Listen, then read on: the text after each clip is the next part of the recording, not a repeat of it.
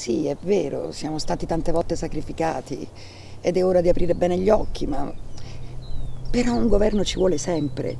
Se non c'è qualcuno che comanda, come si fa ad andare avanti? E a che cosa serve l'essere comandati? Chi comanda fa sempre il comodo suo e sempre, sia per ignoranza che per malvagità, tradisce il popolo.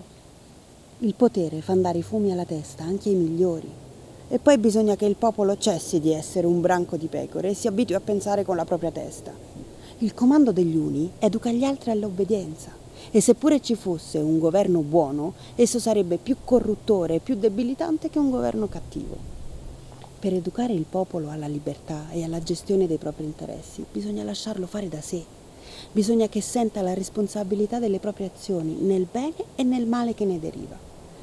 Certo, farà male molte cose e spesse volte, ma dalle conseguenze che ne risentirà capirà di aver fatto male e tenterà nuove vie.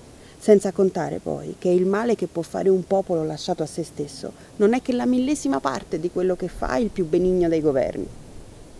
Perché un bambino impari a camminare, bisogna lasciarlo camminare e non spaventarsi per qualche urto o per qualche caduta, no?